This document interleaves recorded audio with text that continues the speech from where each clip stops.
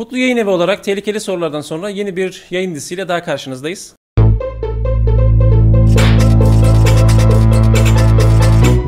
Şemsi Paşa Pasajı'ndaki edebiyatçı adını verdiğimiz bu yayın dizisinde sıra dışı öyküleri olan yazarlarımızı izleyeceksiniz. Onları konuk edeceğiz. Çevrim içi olacak ve YouTube üzerinden yayınlanacak olan bu yayın dizisine bütün edebiyat severleri bekleriz.